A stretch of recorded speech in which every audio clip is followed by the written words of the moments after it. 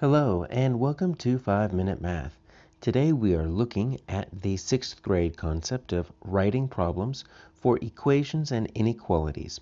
This is standard 6.9c in the great state of Texas and we are using item number 16 of the 2022 released STAAR test. If you haven't done so already, please go ahead and take a moment to pause the video, work this problem out on your own, unpause it, and we will look at our answers together. So we need to find a situation here best represented by, we've got this inequality. x over 12 is greater than or equal to 7. So I've got Emily, and she's doing some stuff with books and crayons and juice and cookies. And all of them look like we've got 12 right there. And I see a 7 in each of these. All right, so we're not going to be able to just easily say, oh, this doesn't include the correct number. They're all going to include 12 and 7 and x. All right, so let's get cracking. Let's look what f says. Emily divided x crayons into 12 boxes. Okay, so x crayons. Now, uh, we could say this, right? x was divided by 12. But remember, we also learn that we can represent uh, division here by a fraction, because remember, a fraction is just another way to show division. So I'm going to show it this way to kind of match what we have up here. x over 12.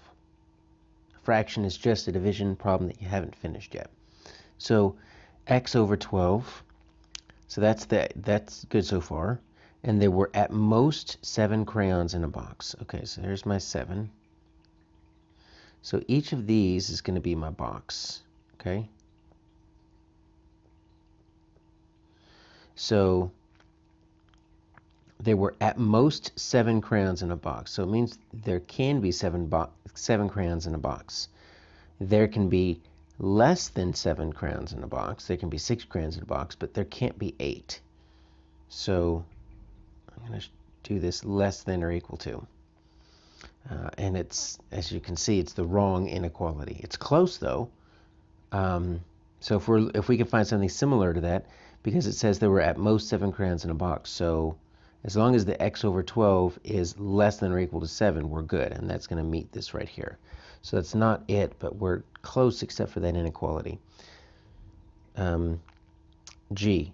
Emily separated x books on 12 shelves, and there were more than 7 books on each uh, shelf. So it looks like we've got x books doesn't necessarily say divided, but if we're going to separate them onto 12 equal groups, that's also going to be a division right there. And there were more than seven books on a shelf. Okay, so we've got greater than, that more than is going to be greater than. And it doesn't say um, that it's equal to. It has to be more than seven. So we've we're close. Once again, it's at least a greater than, but it doesn't say that there could be seven. It says there were more than seven. Um, you know, so we're close than that. We're close, but still not quite there. H. Emily poured X ounces of juice into 12 cups. Once again, we're dealing with equal groups, so it looks like we're all just going to start with this X over 12 here. And, each cup had no less than 7 ounces. Okay. So uh, no less than, so it, it's going to be greater than 7. But if it says no less than 7, that means it can equal 7. It can be 7, it just can't be less than 7. Hey, look at that. That's exactly what we're looking for. All right, so H is looking pretty good. J. Emily shared X cookies among 12. Okay. We've been doing this for a while now. Each person received less than 7. Okay, well, we're just going to do straight this right here. And they just give it to you. Less than 7. So look, we've got each of the four inequalities. We've got uh, these two are going to be your greater than, but one is greater than and equal to, which is what we're looking for.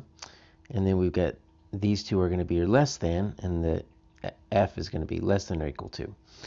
So that's got a little bit of symmetry here, and our answer is going to be h.